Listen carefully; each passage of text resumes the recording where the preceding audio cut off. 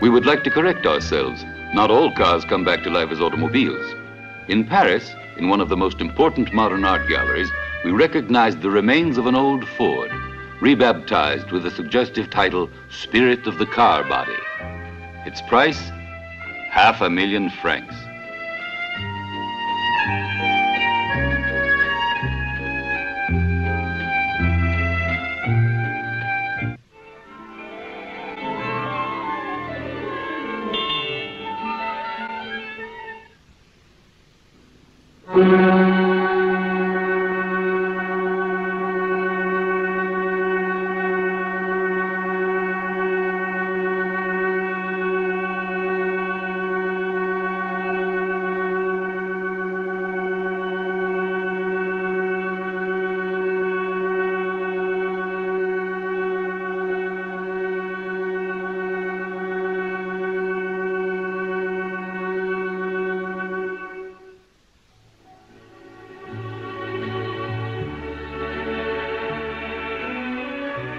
The late Czechoslovakian painter Yves Klein is ready.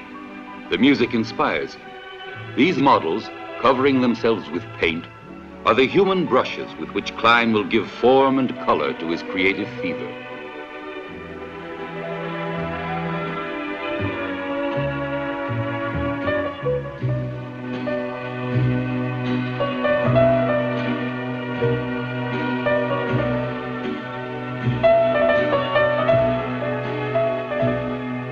As some of you may have guessed, Klein's favorite color is blue. Blue is also his favorite form. As a matter of fact, blue is his only form and his only color. Blue are his paintings, for which there is a great demand.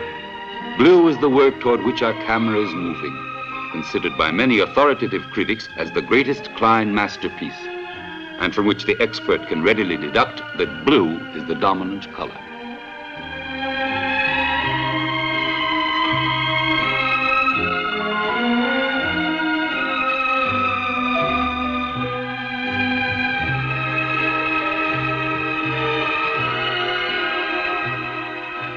Dripping blue, the human paintbrushes go and leave their imprints on the canvas, while Klein guides them from far off with the flow of his creative genius.